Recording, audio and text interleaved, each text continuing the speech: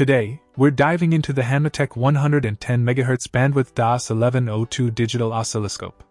With its impressive features, including a 110 MHz bandwidth and a real-time sampling rate of 500 MSS per channel, this portable oscilloscope is geared towards professionals and enthusiasts alike. The 7-inch TFT LCD screen boasts a true color display with 65,535 colors and a resolution of 800 by 480 pixels.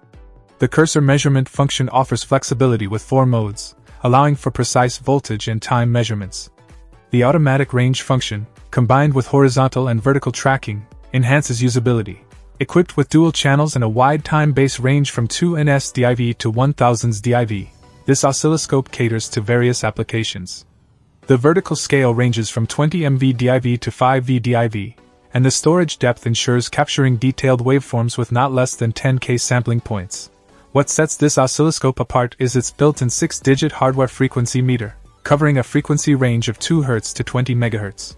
Additionally, it features a current measurement function with a range from 100.0 mA V to 1 kV. The device supports 30 automatic measurement functions, allowing for a customized measurement menu.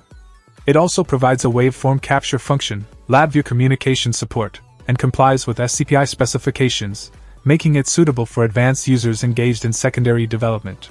With U-Disk storage functionality and USB interfaces, data transfer and storage are convenient.